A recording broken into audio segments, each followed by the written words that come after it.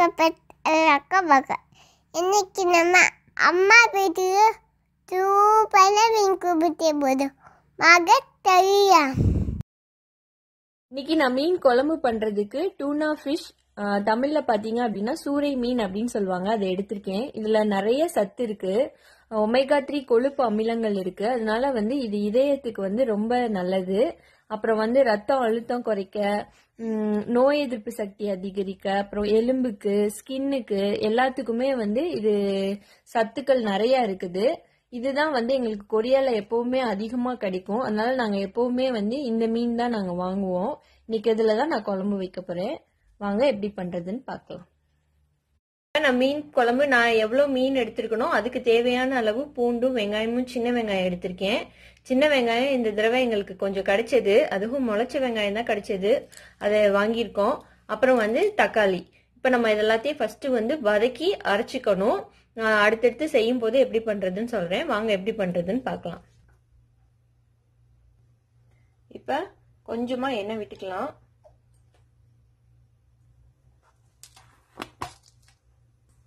இப்ப எண்ணெய் சூடானதும் கொஞ்சமா வெந்தயம் போட்டுக்கிறேன்.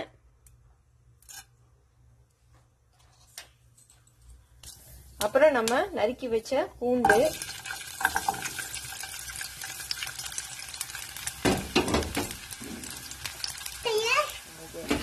பூண்டு இப்ப நல்லா வதங்கினதும் வெங்காயம் ஆட் பண்ணிக்குவோம்.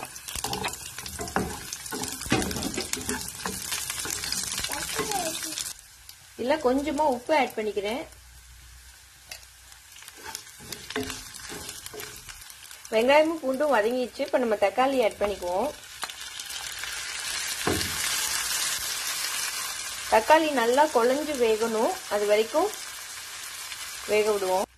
இப்போ பாருங்க நம்மளோட தக்காளி வந்து நல்லா மசிஞ்சு வெந்துடுச்சு. இப்போ இதில் கொஞ்சமாக மஞ்சள் தூள் ஒரு ஸ்பூன் மிளகாத்தூள் இது வந்து வீட்டில் அரைச்ச மிளகாத்தூள் இதுக்கு ரெண்டு ஸ்பூன் மல்லித்தூள் ஆட் பண்ணிக்கிறேன். ஒன்று ரெண்டு. இது வந்து கொஞ்சம் பழைய மிளகாத்தூள்ன்றனால கலர் ஒரு மாதிரி கருப்பா இருக்கும். அதனால நான் வந்து கொஞ்சமா காஷ்மீரி மிளகாத்தூள் ஆட் பண்ணிக்கிறேன்.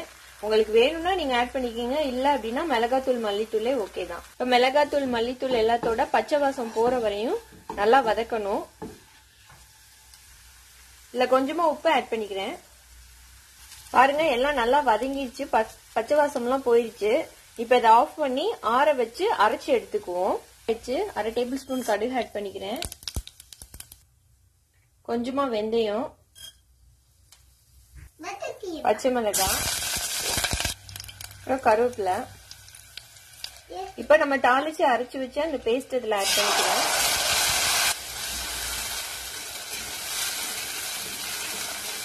இப்போ இது வந்து நல்லா கொதிக்கணும். கொதிச்சுட்டு அதுக்கப்புறம் வந்து உப்பு செக் பண்ணிக்கோங்க. உப்பு கம்மியாக இருந்தது அப்படின்னா உப்பு ஆட் பண்ணிக்கோங்க. ஆட் பண்ணிட்டு நல்லா கொதிக்க விடுங்க. அதுக்கப்புறம் நம்ம வந்து புளி ஆட் பண்ணணும். பாருங்க இப்போ உங்களுக்கு டிஃப்ரென்ஸ் தெரியும். எப்படி குழம்பு கொதிச்சிருக்குன்னு. இந்த ஸ்டேஜில் வந்து நான் சின்ன எலுமிச்சம்பள அளவு புளி கரைச்சி வச்சிருக்கேன். அதை ஆட் பண்ணிக்கிறேன். உங்களுக்கு எவ்வளோ அளவு புளி போட்டால் கரெக்டாக இருக்குமோ அந்த அளவுக்கு ஏற்ற மாதிரி நீங்கள் போட்டுக்கோங்க. நான் ரெண்டு பேருக்கு தேவையான அளவு குழம்பு தான் நான் இப்போ வைக்கிறேன்.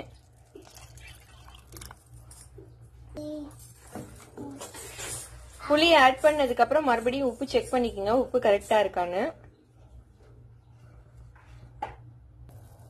பாருங்க குழம்பு நல்லா கொதிச்சிருச்சு. புளியோட பச்சை வாசம் போயிடுச்சு இப்ப நம்ம வந்து மீன் எல்லாத்தையும் இதுல ஆட் பண்ணிக்கலாம்.